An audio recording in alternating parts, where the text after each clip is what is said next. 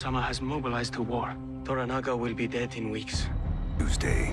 Shogun, Season 1, Episode 10, A Dream of a Dream, airs April 23, 2024 on FX Richard Chamberlain and Yoko Shimada in Shogun, 1980.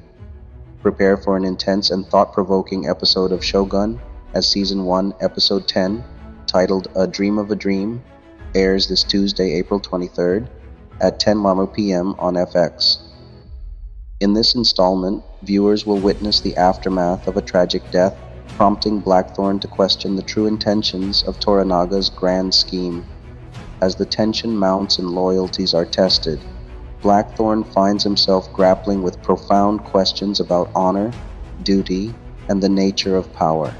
With the stakes higher than ever before, he must navigate a treacherous political landscape while confronting his own inner demons.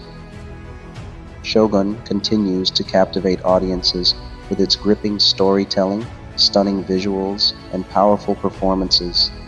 In this pivotal episode, secrets will be revealed, alliances will be forged, and destinies will be decided.